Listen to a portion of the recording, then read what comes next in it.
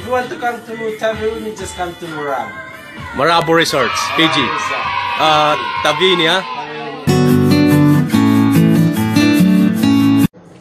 Hmm, ito pala yung shower sa labas. Kung ayaw mo sa labas mag-shower, may shower dito sa loob. Mm, breakfast namin ngayon. Kasama ko, Wahid. His name is Wahid from Fiji. So, this is our breakfast now.